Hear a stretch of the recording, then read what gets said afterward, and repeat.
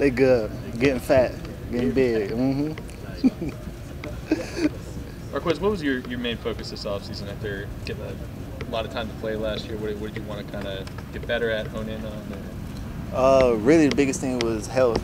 Uh, I had thumb surgery this offseason, so just trying to get that back right, and that was really the biggest focus. Can't do anything without you know my hands, so that was really the biggest thing. Was that like some, something that happened like toward the end of the year, or something you had to play through last year? Uh, towards the end of the season, so um, waited till after the season get it done, and was good and ready in time before, before everything started up. Marcus, how different is this camp for you compared to last year with that wide receiver? room? um, Quez, and um, it's I don't, I don't think it's really different. You know, we got new additions. We got like every year, you know, new guys come in. We got a lot of familiar faces coming in. We got a lot of people coming back from injury, and I just think it's helping all of us. You know, um, whether they're older or younger, like rookies coming in. I think we still hold each other to the accountability that we've been in the past, and we just work to make each other better. What do you see from Jameis, just kind of like a, from a, like a leadership standpoint? Is he is he any different this year? Just kind of knowing that the job's his, like just just how's that been? Uh, everybody knows Jameis's work ethic. If you don't, then you do your homework because James is one of the hardest working people I know, and he expects the same out of all of us. Whether we just ran a go ball, coming back, you expect the same energy, expects the same uh, passion that he has, and that's what he brings. Other than his leadership, that's what he brings: energy and passion. I know uh, Mike said it a couple days ago, but I mean it's true. If you know him, been around him, you, that's the first thing you notice about him, and that's what I love about him. Everybody kind of calls him like the hardest worker that they've known. Like, what are some of the things that you've seen that kind of form that opinion for you? Have you not seen his workouts? Yeah. his workouts are alone by far the best slash worst I've ever seen. Cause I don't think, yeah. Mm. Ask Trey Clark about it. He, he'll tell you say the little pool noodle and like running around, like how to do that. everything, whether it's on land or in the water. He's gonna get the work in. So Have you tried to replicate any of I those have not. workouts? I'm not even gonna try it. Mm-mm. How much have, uh, have you picked the brains of just Michael Thomas and Jarvis Landry, two veterans who- who've done enough in this league and proven themselves? Have you gotten to really kind of see how they've gone about their business when they're getting ready or just playing the position? Have you done that a lot? Uh, Quez again. Sorry.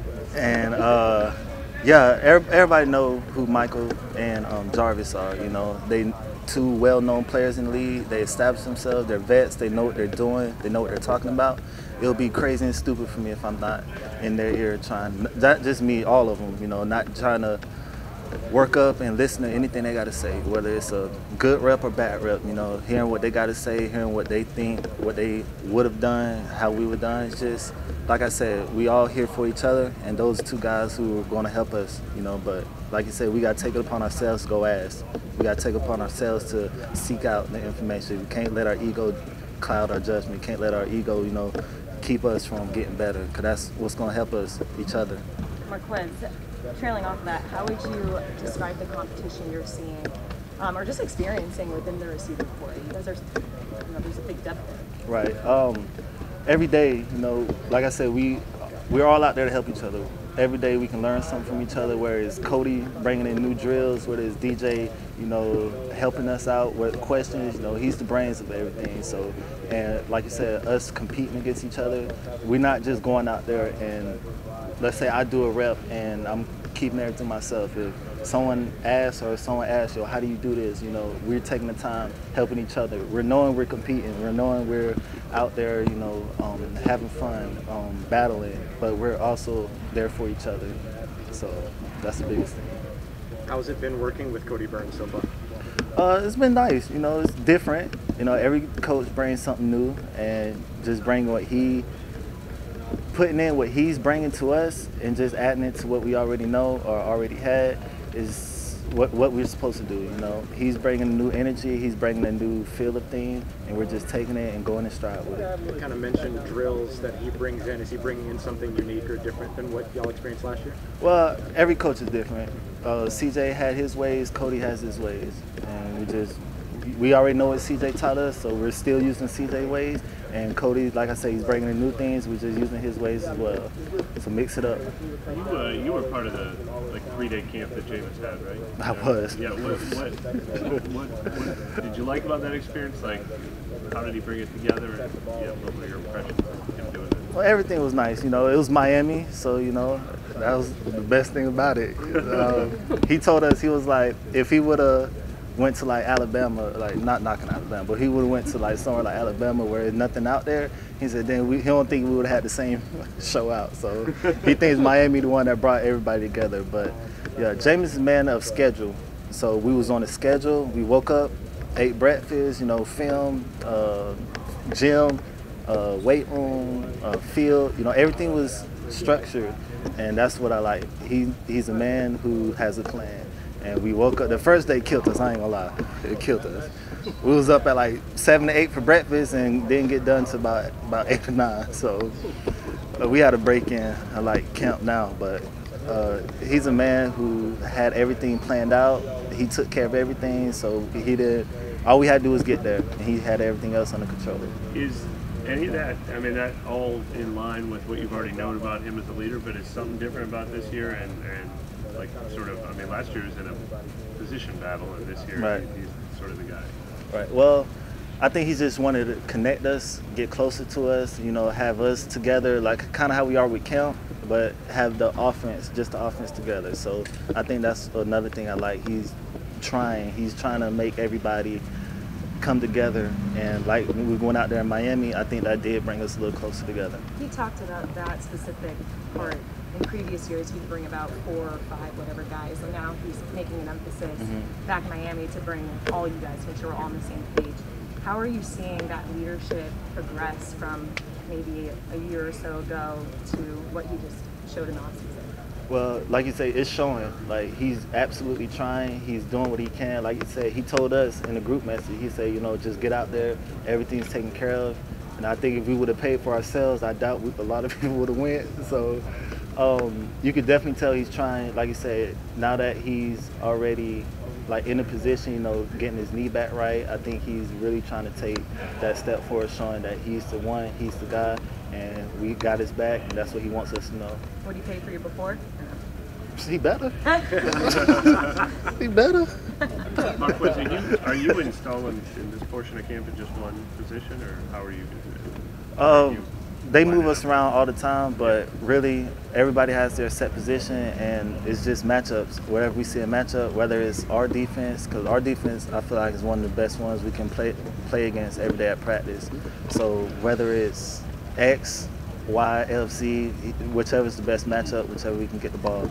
X is sort of where you started from, Right, right? The right. most, but now with so much depth, I, I assume the ability to play all three is key for you or, and, and anyone. Key for everybody, really. get on the field. Like you said, yeah.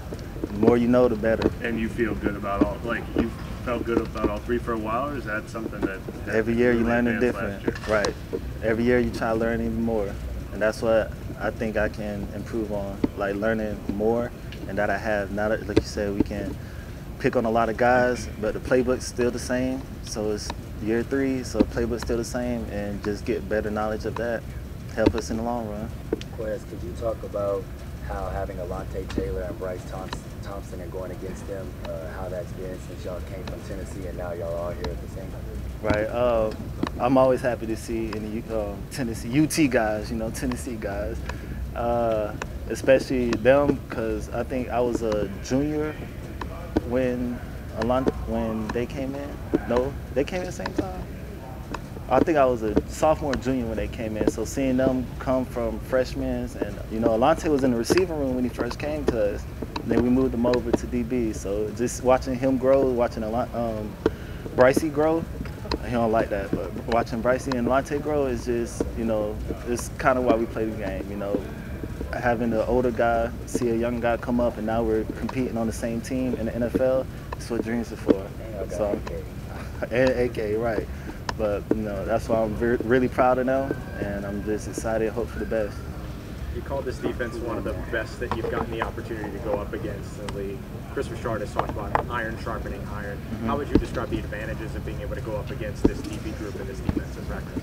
Well, I feel like, like, like earlier, I feel like our defense is one of the best in the league, and any, any way we can pick on whether it's physical or mental. Because I was asking um, Adebo questions about how he's playing and what here look, what he's looking at. So just things like that, you know, picking their brain. They know more about their stuff than we do. So same thing. They ask us stuff all the time when we take this outside release. Why we're going this way when they're playing this situation. It's just like iron sharpening iron. They're, we're here for them. They're here for us. You mentioned earlier, like learning by asking the other wide receivers a lot of questions. Do you feel like you learn more that way, or can you pick up a lot just by playing right next to a guy? Because you know, in practice, y'all are all Mm-hmm. doing your own thing. You have your own goals, but what can that tell you? I guess. Uh, I'm more of a visual learner, you know. So if I see it, um, when he comes back to the sideline, I'm asking. You know, whether we're watching film, I'm gonna ask him. So whether if we're just sitting here talking and he's trying to explain it to me, I might get it, but I gotta see it. So when you're on the field and it comes up, like um, I ran a route today and I asked Jarvis, I said, "What do you think I could have done? What do you see?" And he was in the he was in the play with me, so he didn't see it. So when we go on the film, we're definitely gonna look at it and watch it. But that's the biggest way I can learn. That's the biggest way that I can get help with. So As you put together like some pretty big games toward the end of last year, was there something that kind of clicked for you, or was it just a you know, matter of, of experience? just out there playing. Yeah. Ball come your way, you make a play. That's the best you can do. Control what you can control. Thank you. Glad to see you doing well.